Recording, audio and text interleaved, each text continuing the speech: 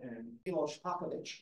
Uh, he did his actually undergraduate work at Queen's University, just sort of down the road, and then uh, did his uh, master's and PhD at MIT, and he's now an associate professor at Boston University, although he's on sabbatical this year, where he's spending some time at, what do you call it, if I'm pronouncing it correct, is it IAR? How is it actually pronounced? Yeah, Ayar Labs. Ayar Lab. Nobody knows that pronunciation. Uh, of which he's a co-founder. Okay, and he's, he's, uh, uh, he's, uh, there were a number of awards, including a fellow of the National Academy of Inventors. I'm not sure we have that. I mean, I know we have inventors. I'm not sure whether we have National Academy.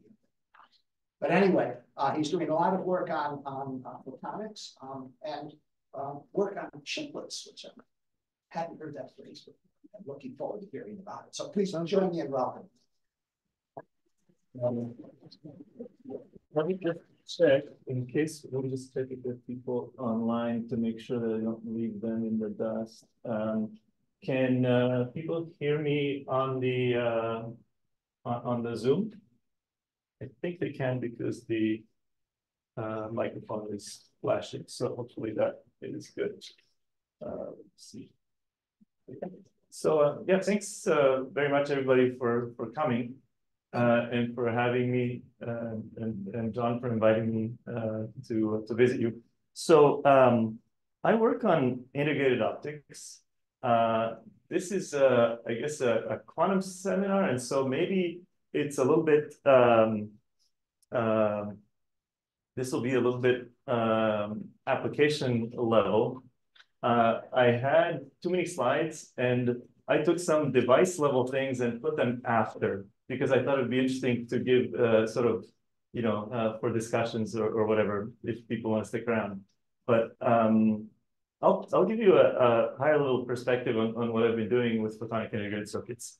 Um, so uh, I, I titled this uh, uh, Electronic Photonic Integrated Circuits and Systems for AI, Quantum, and Sensing Applications. I'll tell you uh, why AI, because integrated photonics is being used in industry, but you know it's not chips with zillions of components the way that uh, electronic chips uh, have, you know, billions of transistors. Intel sells uh, pluggable transceivers for data centers, and there's a chip on there and has like four optical modulators on the, you know, huge chip. That's sort of the scale of these things. Uh, and what I'm going to be talking about is sort of the equivalent of VLSI, very large scale integration, uh, integrated photonics. And that's in a second wave that's now uh, sort of on the on the cusp of, of uh, entering actual uh, use, let's say.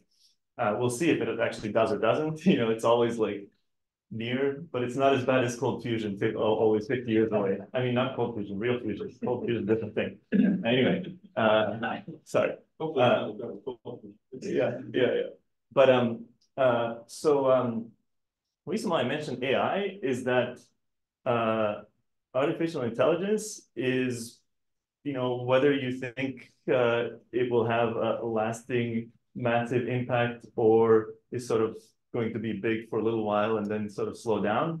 Uh, it is the driving force behind all of the highest performance microprocessors and the scale of compute being installed in data centers. People are trying to train and fine tune and then run uh, these large language models uh, and other uh, AI um, systems, um, you know, kind of like Google was trying to do in the mid 90s for search. Zillions of people putting in queries, and now you want to have these LLMs basically sort of uh, put this uh, machine capability uh, in, into various jobs. So optics has a role to play here because um, there's you need a huge amount of computation and you need a huge amount of data flow because uh, processor chips add and multiply. They don't move data from, uh, from the multiplier to the memory where it's sitting there. Memory chips are separate and you need huge bandwidth between processors and memory. So in classical, if anybody does uh, scientific simulation, you'll know that it takes a lot of coding to, and you love it when uh, you know your memory is right next to your processor and when your processor has to go to the next processor's memory already, that's way slower and that limits the scale of what you can do. And with these, these uh, AI applications, you really basically want the whole data center to be one large processor, and that can only be done with optics. Uh, and you cannot use uh, these pluggable transceivers or the scale of uh, optical communication equipment that's used for, let's say, fiber to the home, or even for data centers where you go from one server to another server. And that's because the whole conversion from the uh, electrical signal domain to the optical signal domain uses, um, so they go to high speeds, the signal is very weak, then they use a lot of DSP, digital signal processing to sort of, you know, get uh, signal noise ratio or, or the bit error rate down. And what that means is the data throughput is huge uh, or is fine, but, um, but there's a large latency because you have all this computation that you have to do. And so you have to strip away all of this stuff that costs you both latency and energy um, if, if you want to get terabits and terabits out of every processor package and between all CPUs. And integrated optics has a big role to play in this. So, so I'm going to tell you a little bit about. And it probably, and so I know there's a lot of quantum people here, and this is a quantum seminar. So at the end, I have a quantum story um, something that I'm working on. But actually, um, I'm not a quantum person. I've, I've, spent the last almost decade trying to learn more about it, just in the process of uh, you know trying to contribute a little bit. Um, so uh, let's see.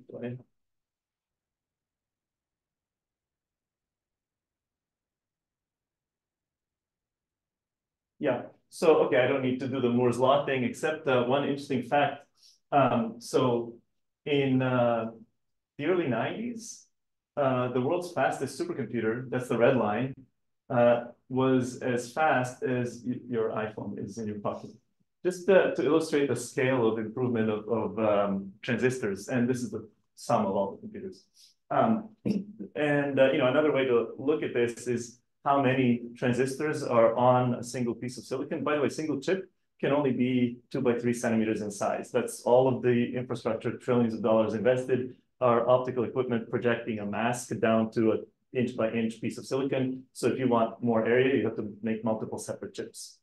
And there are now companies like Cerebras, and I'll show you a picture, making these wafer scale processors where they sort of never dice up the chip into separate uh, chips. They stitch together and try to make an interconnect between all of these uh, little reticles on the wafer, but these are the exception than the rule.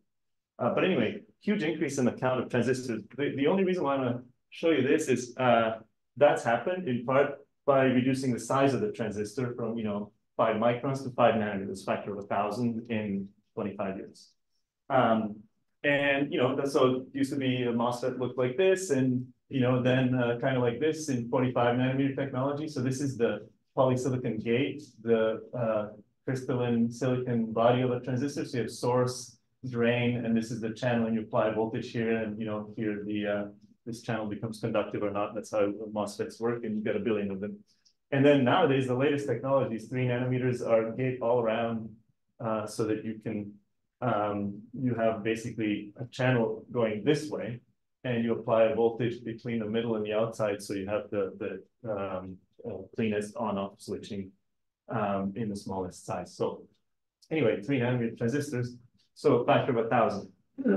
what I wanted to say about this is just to compare it to integrated optics, which is, uh, so ring resonator, somebody said the word, that's a kind of a, a building block of, let's say, of, you know, a large class of uh, integrated optical circuits. And the first ones were thought up already in, in, in Bell Labs uh, in some patents in the late 60s, and people played with them. But um, they can become small. You can take tight turns when you use high index contrast. So silicon surrounded by an oxide uh, as a large index contrast system, three to one refractive index ratio, that allows you to go to micron scale rather than sort of centimeter scale resonators. Uh, the first one was demonstrated in the mid 90s. So I showed you the transistors in the mid 90s.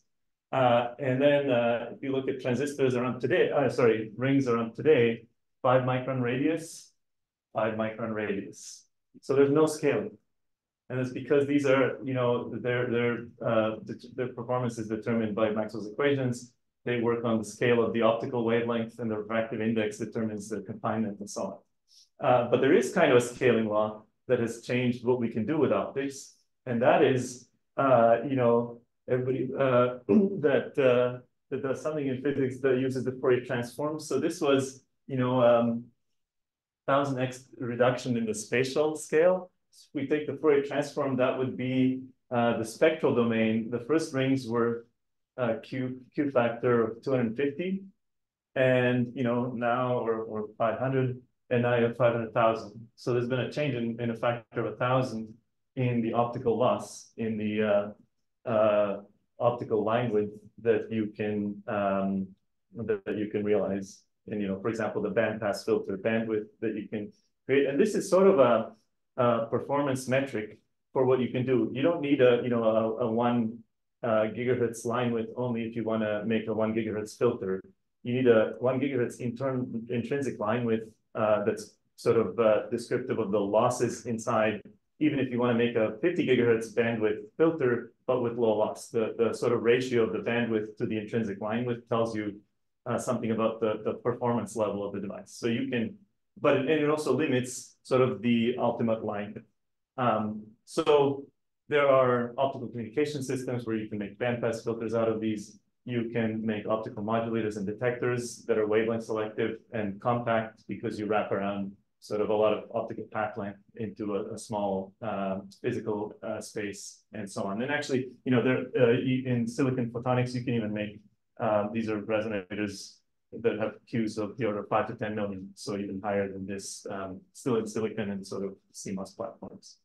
Um, I want to put up my uh, advisor because uh, he, he died uh, 30 years ago or 20 years ago last year. Uh, and I just thought it was interesting uh, because he, he got into integrated optics in the early 90s when, uh, you know, the time I showed you. By the way, uh, if you're interested, very interested to learn uh, just some of his thoughts. He had a, prepared a, uh, an after dinner talk for one of these Gordon nonlinear conferences for that year. And he died before he could give it, but he had it prepared. So we sent it to this Journal of Modern Optics and Bob Boyd, somebody mentioned they were working with Bob Boyd, was editor at the time. So he just had it published. So I, I think it's interesting. I just thought it uh, sort of side comment. But um, so this was one of these early papers Brent Little and Haus uh, wrote on, on these ring resonators in 95. And, uh, and, and Brent asked Haus at that time, well, you know, when do you think this will be an industry? And the answer paraphrased roughly was about 10 years. It hasn't been quite 10, it's been almost 30. So, you know, uh, things take longer than you think.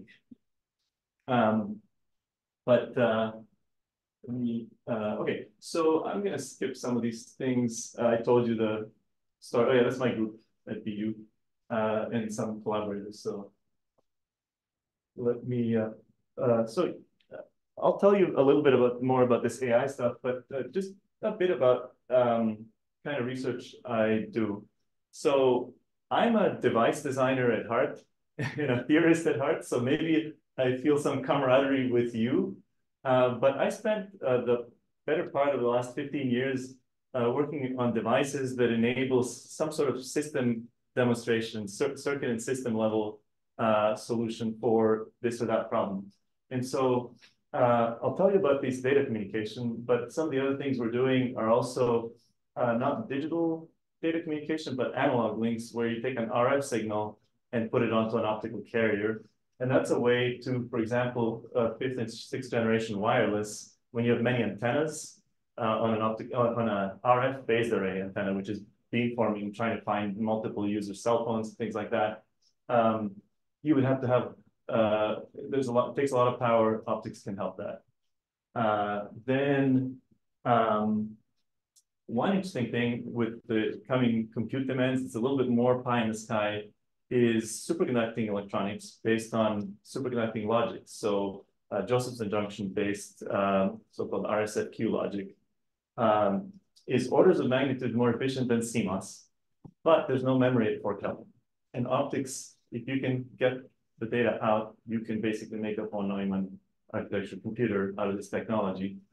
Um, and uh, then tell you a little bit about uh, quantum electronic photonic systems on chip. So this all this stuff has to do with combining optics and electronics. Uh, this thing here is about making optical apertures um, of a new kind, uh, sort of optical phased arrays, but uh, maybe in a, in a, different way than people do it. Uh, but I won't have time to talk about it today, so I have my slides after the talk. I just I didn't pick and choose, I guess. Um, just some pictures, since I won't be talking about individual devices of the kind of things we're doing. So we build, you know, uh, ring resonator based modulators out of silicon. So this is a, a MOS capacitor modulator. There's a, uh, the gate of the transistor, which is a one nanometer thick oxide here. That's where the charge collects and the light goes around. And so if you put in charge, you know, it moves the resonance. And so that's how we electrically control the resonance and, and uh, encode information. And then we built, for example, uh, gratings that uh, send light in only one direction by engineering multiple levels here and things like that. Uh, I was just telling uh, Boris, uh, um, somebody's interested, the adiabatic evolution is a big thing in many physical systems in, in physics. Uh, in optics, we use adiabatic evolution often to build um, devices that are invariant to different things. And this is a device that's um, a new kind of uh, adiabatic evolution concept that doesn't occur sort of in nature because you have to specially engineer how the potential evolves, which doesn't by, happen by accident. So I call it rapid adiabatic evolution. So I have slides on this too, but I won't talk about it now. Uh, but um, and then um, magic tees, uh, uh, new types of cavities and things like that. So it gives you an idea of what my students work on. Um, okay, so the three topics I, I, chose to talk about today, well, first give you a bit of an introduction to monolithic integration of electronics and photonics. It's kind of an applied topic, but I think it's interesting for you to know uh, what's happening. And, and then uh, I'll, I'll give you a summary of uh, this millimeter wave uh, RF beamforming, the cryogenic interconnects, and the quantum. So I'll skip over the millimeter wave quickly and, and focus on these two because that might be what's most interesting to people. Um, I'm not diving deep into any one device, uh, but uh, yeah, we, we can. Um, so, um, you know, uh, why monolithic integration on a single chip of transistors and photonics? This, this is, by the way, something that's uh, unique in what uh, I and a colleague of mine who's at Berkeley, Vladimir Stojanović, and, and another guy at MIT, Rajeev Ram, uh, did that's sort of unique in, in our field, at least um, uh, at least was, and now it's being done more, and maybe, maybe it'll be supplanted soon and sort of run out of fashion again. But um, uh, most of integrated optics, you design photonic devices, you, you either build them yourself or send them to a foundry, but basically the chip has only optics. And we tried to uh, build optical devices in an existing CMOS foundry process that can yield a billion transistors on a chip. And the reason for this is that optical components, especially resonators, are extremely sensitive to everything. So you need to have a control system around every resonator in order to, for this to be able to scale to the hundreds of uh, devices uh, to make a little system on chip and do something useful. And so, uh, you know, there's precedence of people messing around and trying to do things in CMOS. So I just give you here a little bit of a timeline.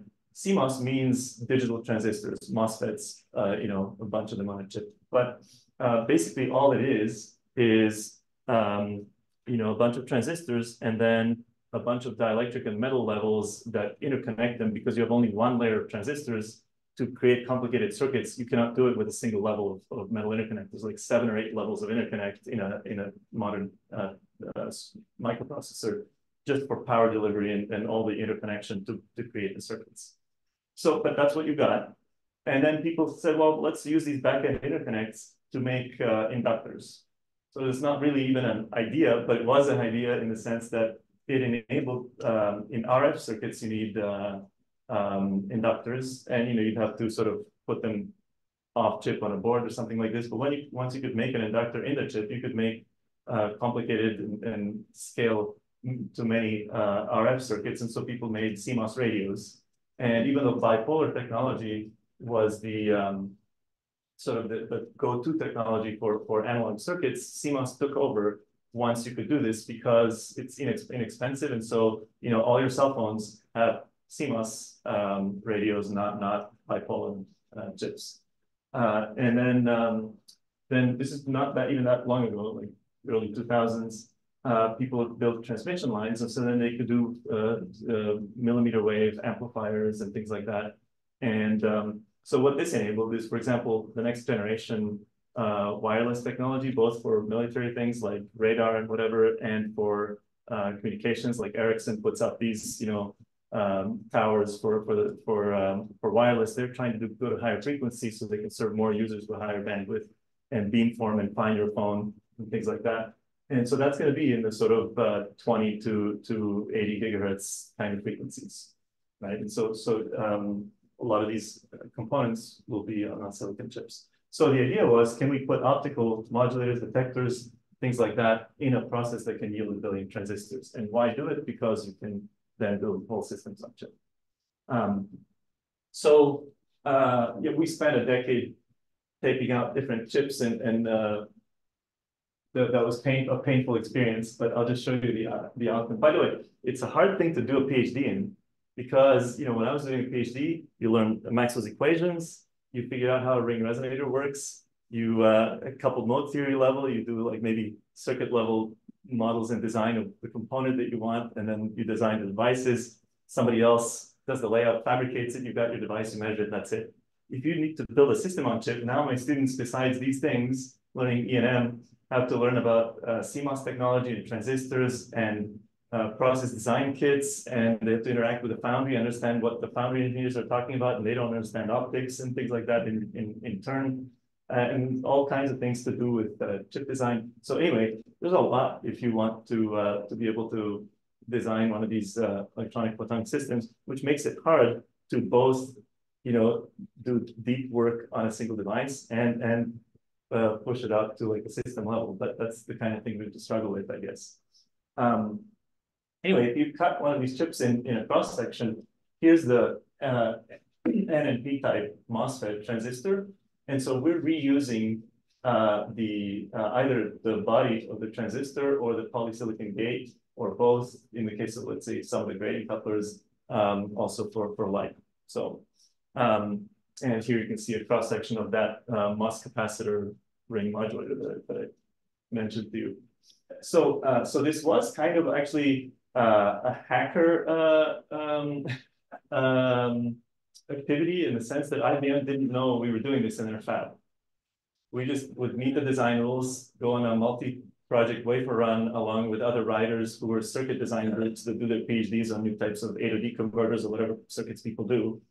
And we would uh, design this, meet all the design rules, pass the design rule checks, chips would come back, and the only thing we have to do is remove the substrate, the silicon substrate, because uh, the oxide under the waveguide was too thin. Uh, if you want uh, to confine light in a waveguide, you need a couple microns of oxide at these wavelengths so that you don't couple into the high index substrate and radiate all the light down there. Uh, and uh, that's done in silicon photonics kind of uh, fabrication facilities. But in CMOS technology, you need the silicon substrate nearby because all these transistors need to conduct heat into the substrate, and you don't want to put a huge oxide uh, thermal insulator uh, in between. So anyway, so that was uh, sort of on the way, but then it, eventually we started we started this company that John mentioned, and we started working together with Global Foundries, who bought IBM's semiconductor business in the meantime, and so this process became translated and, and they optimized it for photonics. So now it's sort of at the time we didn't have germanium, which is an absorber at uh, 1.5 micron wavelength, to uh, use as a detector, because you need both uh, a transparent material for waveguiding and an absorbing material for for uh, for detector. So turns out that the uh, P-type MOSFET had a silicon germanium alloy in the source and drain regions to uh, squish the channel and increase the carrier mobility in these small process nodes. And we reused that as a detector, but you have to use it at these weird wavelengths, about 1100 to 1200 nanometer wavelength, not quite the telecom wavelengths. So then they added germanium. And so you have these transistors, they don't actually work quite as well uh, in photonics because, you know, trade-offs when you when you add sort of a specialized photonics process. But anyway, now you can you can design in this process, it's commercially available. Um, and um, so uh, this is kind of old work now. Uh, let's see what's going on.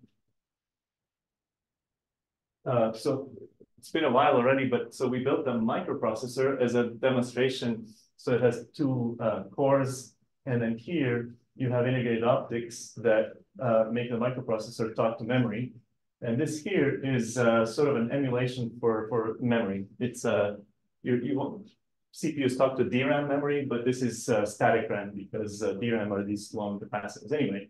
Uh, so we had two of these chips and they would talk to each other. And so uh, the way that it would work is these two vector cores. Uh, by the way, anybody heard of the company SiFive? It has a presence here. They do uh, new kind of architecture of, of processors. So their first processors are these because we had free space and said, hey, do you want to put some cores here? We'll put optics next to it just by accident. But um, so what you see in the optics here is actually this is not visible very well, but it's a waveguide. And then it has 11 ring uh, based modulators over here. Actually, here you can see one. So the light goes in, modulator goes out. And then this is a tap that if the uh, light is on resonance, a little bit of it goes here to a photodiode so that we know that there's light in the resonator. And then there are circuits here that lock the cavity, that thermally tune its wavelength so that uh, it stays uh, on the wavelength of the laser. And I'll explain to you in a minute why, why, why you do that. Uh, and then these are uh, drivers for the heaters and for the high-speed data signal. And this here, this grass stuff is digital logic and so on. So then you replicate this 11 times because the light coming in is uh, 11 wavelengths. So wavelength division multiplexing on one optical fiber, and it goes through, it comes out. So this was the world's first microprocessor that spoke to the outside world using uh, optical communication. Uh, and um, so I don't know if I have, I'd like to click. Uh, let's see. Yeah, so so this is sort of two of these connected, and so you know we could run Hello World, boot Linux, and I made little uh, rendering demo and things like that. So there's a seven minute video you can watch about it. Um, so then, then um, around 2015, around that time, we started Ayar Labs. And um, this is a chiplet that I'll show you in a minute uh, that basically is next to a high performance processor. In this case, it's Intel's um, highest end FPGA from a couple of years ago. It's called the Stratix 10. Now the newest versions are called Agilex series anyway. But um, so these are FPGAs, field programmable gate arrays, which are programmable processors.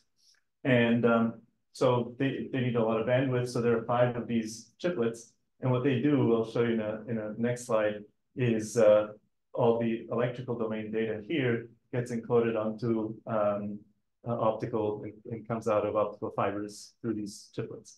So the big thing happening in uh, microchips these days is this chiplet paradigm, which is not just for, for op optical I.O., which I'm talking about here, but for various functions. For example, um, uh, and it started a few, a few, years ago, but recently with AMD uh, saying uh, TSMC is the world's biggest foundry. We're going to build digital logic in three nanometer uh, the three nanometer node. It's super expensive, so we we should not be taking up chip space with uh, I/O functions or uh, memory or whatever. So the, they they have one chip which is the memory, another chip which is the digital digital logic, another chip which does something else, uh, or the GPU and the CPU, for example. And so uh, chips have uh, processor chips have gone from a single piece of silicon in just a package with pins to multiple silicon chips on a substrate uh, so advanced packaging. And so these little chips around are called chiplets. So they can be, for example, so-called HBM, high bandwidth memory. So if you watch NVIDIA a couple of weeks ago, gave a talk, I'm sure everybody's aware from the TV news and stuff that NVIDIA went over a billion in valuation. Six or seven years ago, they were 10 million valuation.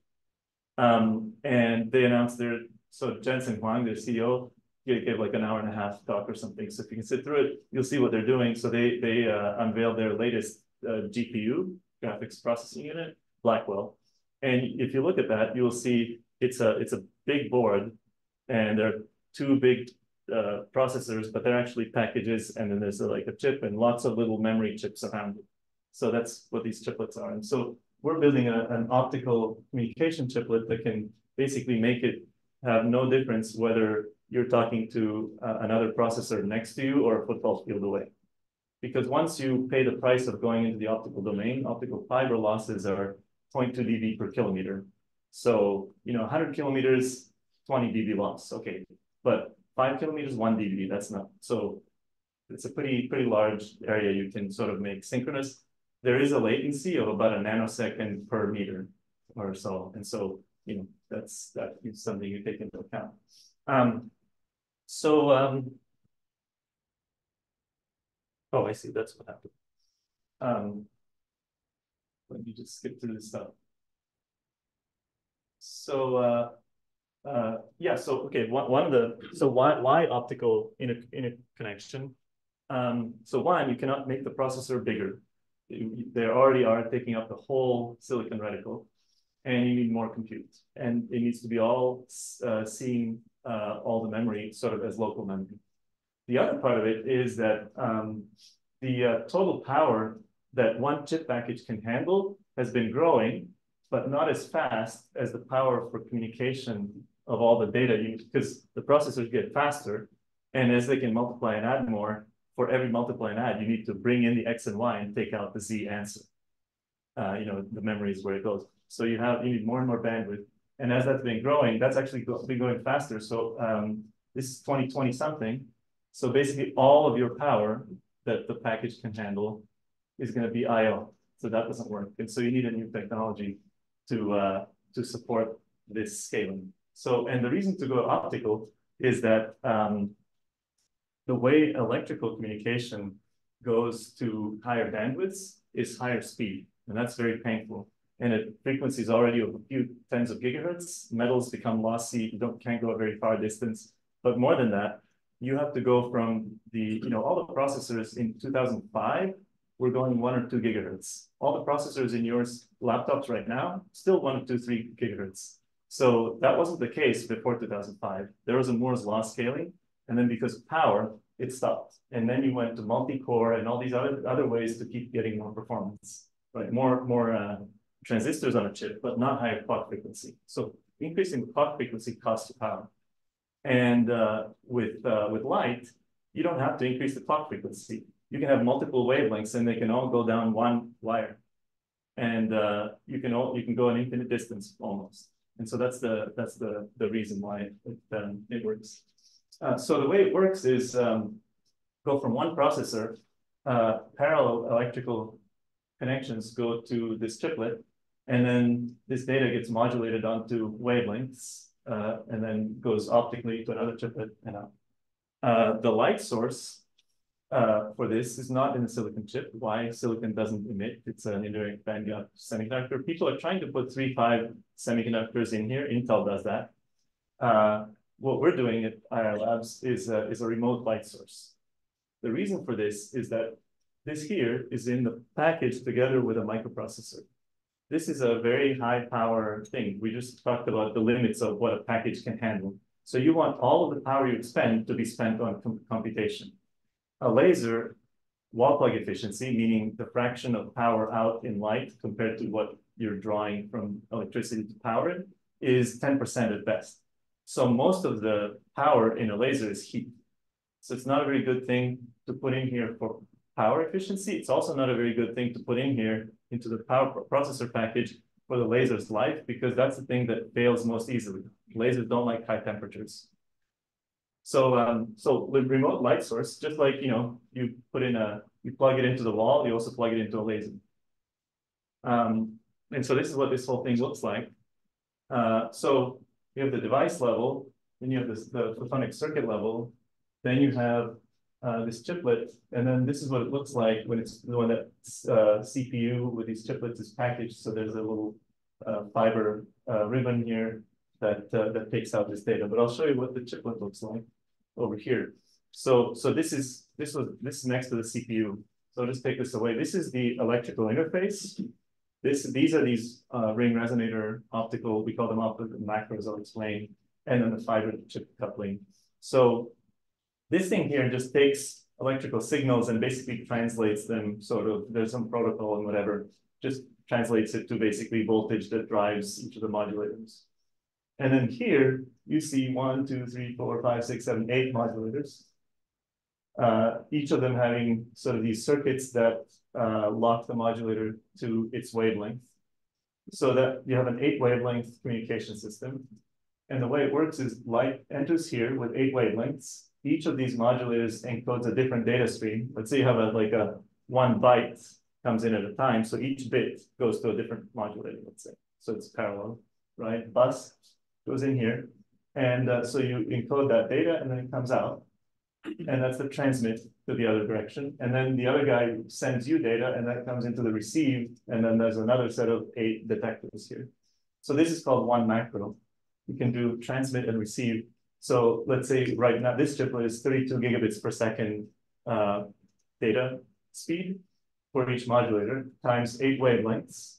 So that's uh, 256 gigabits total times then eight fibers. So there's eight of these replicated across the chip. So you have 24 fibers. And so that's um, that's uh, two terabits per second for one of these chiplets. Two, two out, two in. And then you can put 10 of these around. So you can get 10 terabits out of one um, chip bank. So why is energy important? Energy is important because once you have a terabit per second, if the uh, if this costs you, let's say, 10 picojoules per bit, uh, 10 picojoules per bit times one terabit per second is 10 E minus 12 times one E 12, that's 10 watts, right? And so if you, um, it costs you 50 picojoules, 50 watts. So um, the point is it scales quickly. So we have 10 terabits times 10, 10 uh, picojoules per bit, which is the typical 20 picojoules bit per bit is actually the typical uh, electrical communication cost. That's 200 watts. These CPUs are only a few hundred watts. So, you know, you, you're going to eat all of the your energy budget just with the uh, with the communication. Uh, the optics right now is at five, and it can go down to a couple of picojoules. And so that's you know that's uh, that's why uh, we're doing. Why why why is it low? So one of these little ring resonators is a PN junction, which is a capacitor. Like, uh, uh, you know, PN diode uh, has a depletion region and has a junction capacitance. So when you put a voltage on it, you need to store charge on it. And so the energy that you use to keep the charge there is a half CV squared. And then when you go from a one to a zero, that charge goes, goes gets burned through some resistance. Then you do it again. And so the, the energy per bit is a quarter CV squared because um, half CV squared is the energy, but then half the time you're not doing transitions when you have random data. You go from a one to a one, from a zero to a zero, right? Anyways, and uh, so if you make this capacitor large, the energy per bit is large. If these uh, modulators are tiny, then the capacitance is tiny, and so the energy per bit to drive this is small. So that's why uh, going from larger optical devices to the tiny ones helps you with the energy per bit. And um, so here you can see this laser. Uh, you know, there are eight fibers and each one has eight wavelengths. So one interesting thing about it, I don't want to talk about this in detail, is um, if you uh, want to um, stable, stabilize the laser uh, wavelengths against temperature changes, because there's might be from 50 to 120 degrees C, things like that. And these are semiconductors, you know, the refractive index changes, self-heating effects, whatever. So you might have to put it on a thermoelectric cooler. Once you put it on a thermoelectric cooler, that's a that's a fridge. That's a whole other huge amount of power you're consuming. So we let the lasers float freely. And then the little ring resonators are tracking them. So they're basically at all times following the laser wavelengths. And that's how we get away uh, from the energy costs of of uh, of keeping laser wavelengths stable. And, and yeah, this is you can see here, for example, at 20 and 100 degrees C, how much the wavelengths shift, like several channels worth. Um, anyway, so uh, that's you know that's what Ayar Labs is doing, and um, you know now it's not in these GPUs, but in the next four to five years, these this kind of technology might be or or it might be out of business and I'll be back teaching something else. but you know, but but now is the time that this is needed. So I think it's interesting just to share with you that there is a place where integrated optics and large scale integrated optics, many components on a chip like this, has a relevant place. And you know, there's still if you go to like optical fiber communication conference, which is a big optical com conference, you know, there's still sort of uh, debates about you know whether this this or that is better, whether integrated optics is needed now or later. But I think nobody doubts that uh, optics will have to uh, come in. Sort of electrical solutions have been uh, gone to for, for a while, and uh, they're, they're definitely acknowledged to be out of juice. Uh, let me see here. I'm doing with time so that I know how to plan mine because I'm chatty. Uh, let's see. Oh, yeah. So, okay. So, um, oh yeah, just uh, so yeah, a little bit of bragging too. So, so this is here. Well, actually, this is interesting. So this is two of these light sources.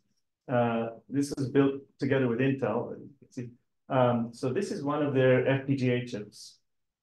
And then there are these two chiplets, like I showed you. And so the light source goes here, goes in here, powers up of these chiplets. And then the chiplet, you can't see it here, but uh, the fiber comes out to this port. And so you just plug in a fiber connector, which is actually a, a fiber array. So it's uh, like uh, uh the 24 fibers, or actually not 24, some of them are here. So 16 fiber uh, connector, and that goes between two of these FPGAs. So that was uh, demonstrated last year, and it was actually demonstrated to Joe Biden at the White House in November.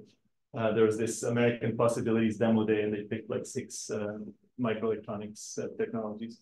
Anyway, so okay, so that's that's what's happening at Ayar Labs, and that's uh, digital data communication using integrated optics. So I'm gonna just give you a high-level overview of the RF because I want to spend more time on, on the uh, quantum and superconductors.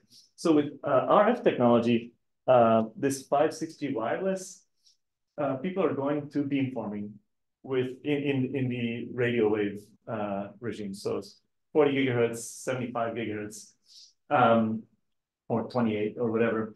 And so phased array antenna, you know, is, is a device like this where you basically have many elements. And if you phase them up in a certain way, you uh, you uh, emit all the uh, light in a, in a narrow beam in a certain direction. You can steer that by controlling the phase shifts.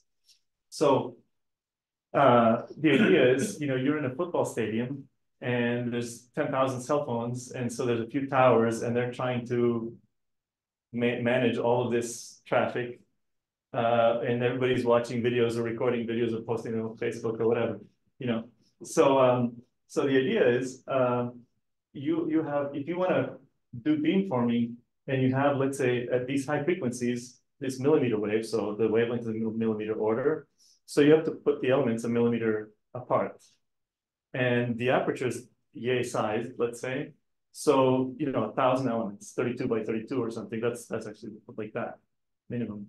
So a thousand elements, a lot of cables, and a lot of control. But moreover, uh, let's say you're receiving a weak signal at this antenna from somewhere.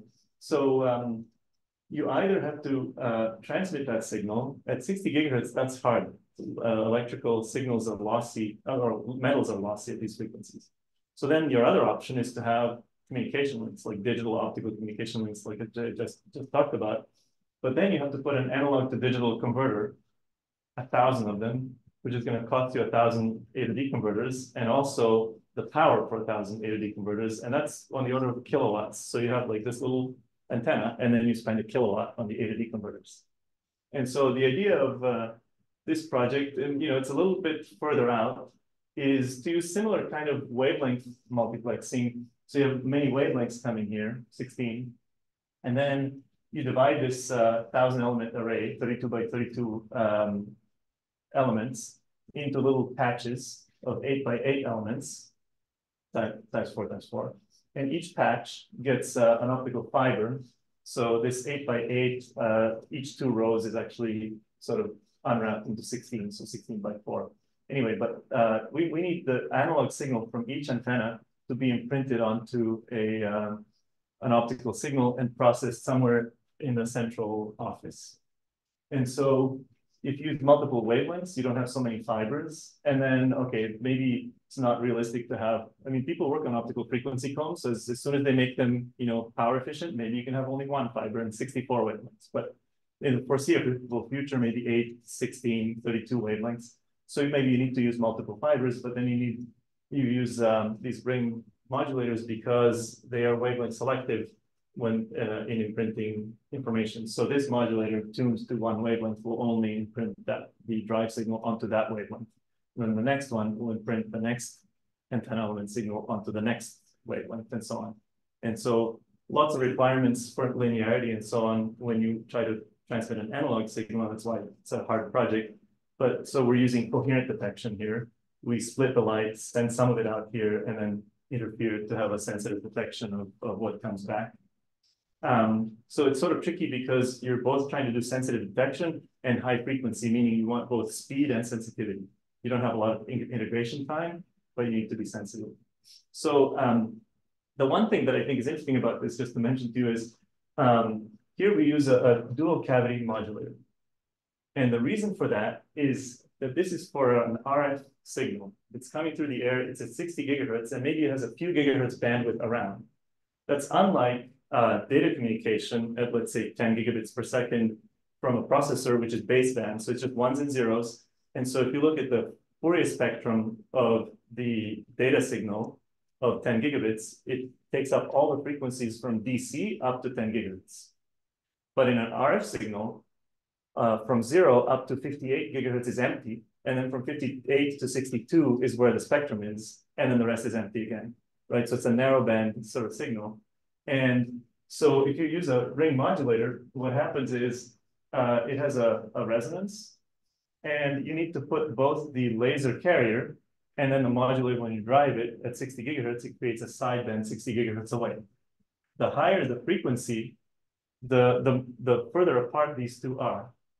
So, but the problem is you want to use a high Q resonator to enhance this process. On the other hand, if you use a high Q resonator, it gets narrow and you can't put either the pump or the sideband in there. So you're kind of between a rock and a hard place. But what we do is we couple two resonators. And uh, what happens, just like two quantum wells, when you couple them, you split states. Here, you couple these, you split resonances. And if you couple them just the right amount, you split by exactly 60 or 70 gigahertz or whatever your carrier frequency is. And then the line width can be as narrow as you as your losses will allow, and you keep enhancing efficiency, conversion efficiency. The only thing that limits you is is the modulation bandwidth on the RF signal, the you know the the data, and that might be a couple of gigahertz. So basically, you want this one to be at least a couple of gigahertz wide, and then this one can be super narrow because the signal coming in is just a CW laser. And, and that's how you squeeze the most out of uh, sort of the resources that you're given you know, with the optics. So that's just um, a little different in, in that regard. And so I'll just show you what we're doing. Uh, yeah, this is, let's skip this, some um, other things. So this is a low noise amplifier. So the signal comes in, uh, this is a, a, circuit low noise amplifier, and then it drives one of these modulators. And what we're showing here is just um, the noise figure in the final RF link versus the laser power. So, you know, you want a low noise figure, you want about 10 dB, we're at 25, so it's not great, but it's the first first result. So that's um, that's uh, this. And um, uh, this is a three resonators. Actually, the middle one is a passive tunable one. So it, it allows us to, to adjust the splitting between uh, these two that are modulator cavities and that are coupled. So that way, uh, because you don't know exactly which frequency the low noise amplifier will peak at, and so you have to make it a little bit adjustable. So that's uh, that's what's going on here. Um, let me see. I probably ran out of time. Uh, one second. It's 158. Oh, perfect. um, so um, I think this is a this is an interesting topic. This uh, these cryogenic uh, transmitters, we worked on optical communication links, but for me, the interesting thing is actually the, the bigger picture here. So uh, IARPA, the Intelligence uh, Advanced Research Project Agency, you know, invested a lot of effort into developing uh, cryogenic electronics for different things. They're used in like as radar amplifiers or I don't know, whatever. But these circuits are small scale. There are a few companies that make them based on Josephson junctions. There's a guy, Likharev, who started uh, single flux quantum logic based on the magnetic flux quantum. Um, and the interesting thing is, so based on Josephson junctions instead of you know field effect transistors in silicon, the cool thing is uh, that the energy for one of these things uh, is like seven orders of magnitude lower than CMOS but it has to work at four Kelvin. So you have to put it in a fridge. When you put something in a fridge and it burns energy, uh, to keep it at four Kelvin, you have to pay a thousand watts powering the fridge for every watt you dissipate in the fridge. So, um, so, but that's still three orders of magnitude. So you, you're back to four. And when you, you know, all the non-ideal things and whatever, you, there's still a couple of orders of magnitude to win there. And that's cool. Uh, there, there are foundries for this, like MIT Lincoln Lab has a foundry. You know, these Josephson junctions are like 10 by 10 microns. They're not 45 nanometers in size. So like the same size chip would be, you know, the size of a, this room instead of this size. But that's a, a few generations of, of improving this and, and, you know, that can be fixed. And so the cool thing uh, then is, can you build a supercomputer out of this? Because the way that uh, the Department of Energy works is they, they go, okay, we have a 20 megawatt budget. Whatever you can do in this budget, go for it. So it's sort of power constrained. You, you put your computer next to a, you know, a, hydroelectric power plant and, and next to a power dam in, in Oregon and, and go for it. Um, so the question is basically, and, and you know, um, when this research in superconducting logic was starting in the 80s and 90s, people were thinking, well, you know, I'm not going to put like a cryogenic cooler in my laptop, but now everything's in the cloud, so who cares? Like whether it's a rack of servers or like, uh, you know, a fridge with stuff in it, doesn't matter, whatever, whatever costs, uh, costs and, and performs better. And so one other interesting data point here, coming back to AI, is uh, this is this uh, Cerebras wafer scale processor. Uh, that's the size of a wafer. You can see the size of a dinner plate. Uh, so these are all processors and they interconnect them together. And uh, these are made to handle these AI computations. Uh, and same with Tesla, the car, car company. So they're doing also robotics. And so they do something similar. They do silicon, but then they dice it up uh, into um, dies. And uh, because of yield issues, they find all the good dies and then they put them back into a wafer just so that they have better performance. But same idea. And so the way this works is, you know, they have all these uh, tiles that are connected together at high bandwidth. And what this means is all the people working on computer architecture, uh, they've moved to having the processors all together and the memory disaggregated outside. So here's the DRAM memory outside. And so the point is all the computer architectures already are separating all the compute and all the memory. So with the superconducting logic, the problem is you can't build a, a computer because you put uh, a zillion transistors based on superconducting logic uh, in a 4K bridge, but there's no superconducting memory. Or there is, you know, there are nature papers on superconducting memories, but it's like eight bits, 64 bits. To do a supercomputer, you need terabytes, not, you know, and one of these little chips in your computer is four gigabytes, not eight bits. So for any, any reasonable uh, computer system, you, you need DRAM memory, which is semiconductor. So, but now you can just put all the compute in a fridge, and as long as you can talk to the outside memories at reasonable energy cost, that's fine. You put a bunch of electrical cables. You saw how many cables it takes to uh, to get bandwidth out. Um, that's metal that conducts heat out. That costs you more in the thousand watts per watt problem so it's not, but if you have optical fiber, that's great. That's an insulator, huge amount of bandwidth. The only problem is uh, superconducting logic. Voltage levels are not one volt like CMOS, they're two millivolts, these single flux quantum things. And so you have to make the uh, modulators very, very sensitive. So so that was the, you know, the part, do optical links. And um, so like, let's skip this stuff. Basically, so we have a coherent link where the light goes into the fridge, uh, this superconducting logic, three to five millivolts, drives a little tiny amplifier, just a few transistors, and goes from three millivolts up to 100 millivolts, and then the we optimize this modulator to be able to work at 100 millivolts, and that was the idea.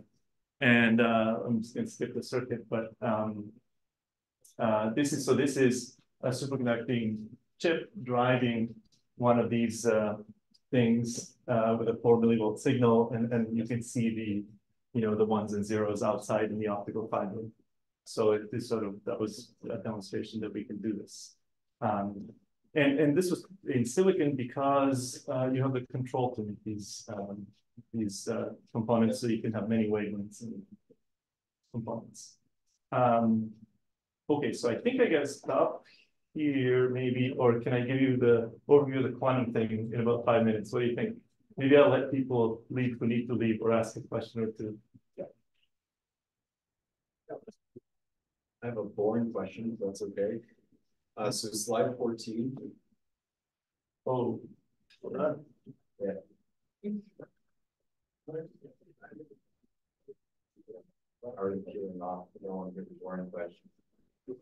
Yep.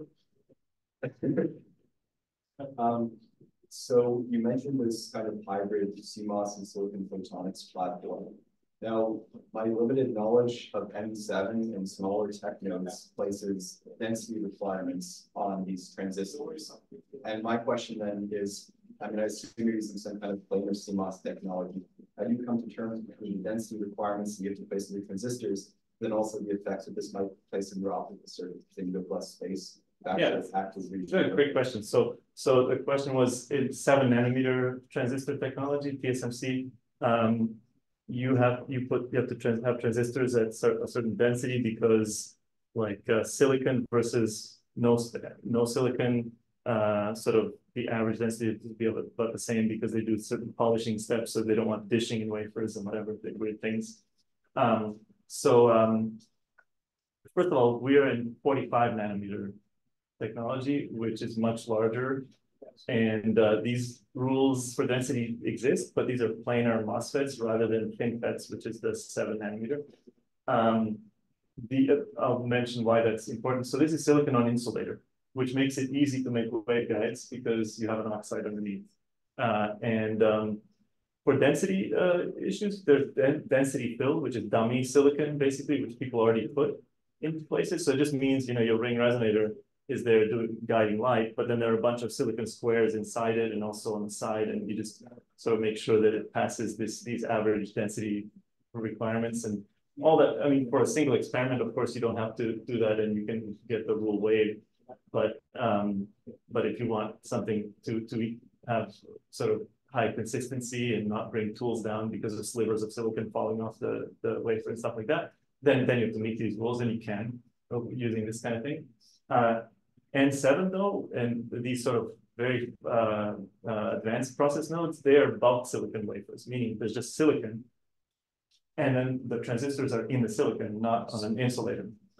So, that, so then there's not an easy way to, to put integrated optics in. And actually, that's what we're doing here. We this is an approach to do this in these advanced nodes where where anyway, we can talk about that after. But um uh so um you can, I think, in principle, put photonics next to uh, seven nanometer transistors. Whether you would want to do that, different story. And so uh, it could be that this goes from monolithic back to separate electronic and optical chips because there's a lot of work now in industry being put into advanced packaging that can make the mating between these very uh, low capacitance, so kind of tiny sort of uh, bump pads and that was the reason for us to go monolithic, that you have these huge pads, lots of parasitic capacitance. So I mentioned before that the energy per bit has to do with, you know, this ring modulator having a tiny capacitance, for example. And so the quarter CV squared that you burn per bit is that capacitance, but not that's like 10 femtofarads, let's say. But now you have a 250 femtofarad pad that has a big solder ball and another 250 femtofarad pad and that your electronic driver is driving through that. Now you 25x the the um, energy that it takes. But uh, this advanced packaging is making this much smaller, and so you know it might it might be fine for certain applications. So, so yeah, that, that answers. No, no, no, um, hey, since you stuck around, I'm gonna give you just a quick overview of what we're, we're doing in quantum optics. Um, that was over. Yeah. So, um, so the, uh, there's a lot of work in quantum optics trying to uh, generate uh, source uh, or build sources of uh, quantum light, as John Sipe's group and some of the rest of you maybe work on, uh, as well as then I was just visiting Xanadu, so people trying to build quantum computers, you know, of this technology through single photon detectors, these kind of things.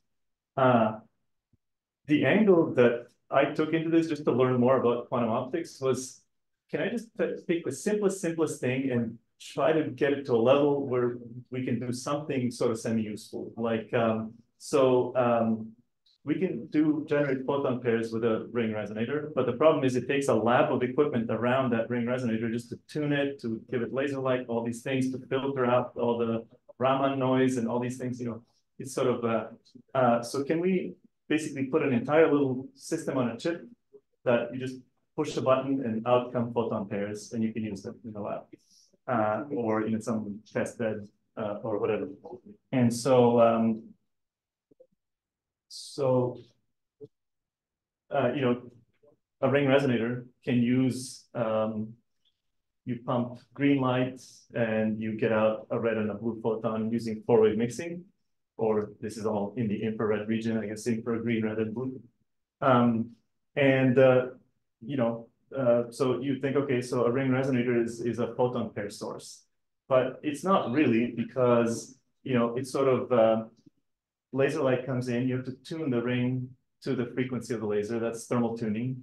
You need to know whether it's at that wavelength, so you need to sense whether there's light in there and uh, put it to some control system to be able to lock that. If you pump too hard and you're using silicon, you have two photon absorption or you have self-heating effects. Uh, these self-heating effects make this sort of a bistable cavity. So to get the, the highest efficiency is not so trivial. Then the other part is um, if you send CW light, you get correlated uh, photons, and for some applications, you might want uh, or um, uh, factorizable states. So then you have to send in a pulse. That pulse has to be tuned exactly sort of to the right pulse length, you know, to make this uh, factorizable. Uh, you might have some uh, amplified spontaneous emission. It's not a CW perfect sinusoidal waveform that a laser is. So you have to filter out the noise, then then pump this cavity. Then when it comes out, there's some pump left, so you have to reject this, this pump. Turns out it's a classical pump. There's only two single photons here. It's not so easy to get rid of that light. And so we wanted to see if we can put do this all on a single chip. Um, so this is from a while back, just putting a source and a pump filter um, with about 100 dB rejection, where we could uh, basically put in light, uh, generate photon pairs, filter out the pump, and use the pairs um, directly without off-chip filtering, which was, so I think the first time that was the case um, uh, without the aid of filters. Uh, and then this is the um, a Franson interferometer quantum interference uh, demonstration. Uh, so, but this is all passive. So this is just uh, cavities. Uh, the reason, yeah, we can talk later why there's many um, and so where we are now is just like that uh, optical communication system, we have circuits that tune these cavities. So light goes in here, passes through a bandpass filter so that all the amplified spontaneous emission is filtered. Then it goes to a nonlinear cavity, which produces the pairs. Then each of the generated pairs comes out through a filter here and the pump is uh, taken away. And so uh, I'll just show you here how it looks like. Uh, so this system, what it's doing is it's scanning uh, A to D converter. And this here is the photocurrent, and it goes up, but you're sensing how much light there is in the uh, ring width. And um, so what happens is over here, um, there's a self-heating effect. So as you uh, tune the resonator through the cavity, uh, as it heats, its refractive index is moving, and so the resonance is shifting. So there's a bistable condition and it snaps at some point. And then, so basically, then, then this thing figures that out, goes back, knows what where that sweet spot is and locks and, and maximizes the pair generation. So this is about, let's say, 20,000 pairs um, per second out outside the chip uh, and the coincidence to accidentals ratio, which is like signal noise ratio, about 40 or 50. Uh, it's actually not the newest one. Uh, and I'll end, I just have two slides left here to show you. Uh, so yeah, this is by the way what these experiments look like. So there's the chip that we have, and then these circuits do something on here, but we have to talk to them. So so we have a little board that we plug in. So there's like an FPGA that that programs this and tells it what to do. So you can from MATLAB or Python or whatever, uh, talk to it. Uh, let me skip these things, just details. So the, the resonator uh, has built-in PN diodes so that when the pump light is going through, if there's two photon absorption, we, we extract the carriers so that we don't get additional free carrier absorption um, from carriers hanging around in the plasma absorbing the light. And then there's some sweet spot uh, for, for maximizing the power. Um, but let me just show you uh, the interesting part. So, okay, so this was this locking. And then the other part is, so what we really want is to have like a little building block here and then turn on like 10 of these sources and be able to multiplex so that you can improve the uh, rate at which you're getting heralded photons or whatever it is that you're, you know, sort of uh, the guy from NIST Gaithersburg, I forget his name now, uh, who proposed this first, uh, uh, Alan Migdall, his scheme, for example. Um, so, so here we have 12 of these. And the point is, you know, when you're thermally tuning one of them, there's thermal crosstalk to the outputs. And so what you want is to lock one of these guys. And then what we're doing is um, turning on and off these other ones and showing that it's stable. And then if you turn off the uh, the feedback locking, then we see where I'm showing that, oh, I don't actually have it here. Well, so, or I, am not seeing it, but if you turn it off, then, then it goes haywire is the point. Um, so anyway, that, that's what we're doing with this. And um, uh, the, I guess the other part we've spent some time on just most recently is just trying to make sure that what we're predicting and what we're measuring makes sense and are corresponding to each other, and we're getting pretty close with that. So one thing that we still struggle with some of these chips is figuring out where some Raman generation is coming from. It's a, I don't know whether it's, you know, because in a CMOS platform, there are these nitrides that are there because of uh, uh, sort of stress management in, in transistors and stuff, you know, there's all kinds of materials uh, that are there. So that's kind of the the long uh, the short story of it. I don't want to. Uh, yeah, this is a newer newer chip that uh, fixes some of the problems that that we had in the previous one, so we haven't um, measured it yet, but that's that's where we are. So, um, thanks for giving me a chance to to tell you what what I've been working on and what we're doing. And yeah, I'd love to find out what's going on here more. And I guess if a, if you're in Washington, D.C., which is where I live, believe it or not, uh, feel free to drop me a line. Uh, or if you're in Boston sometime, you know, happy to have you visit uh, my group. Thank you.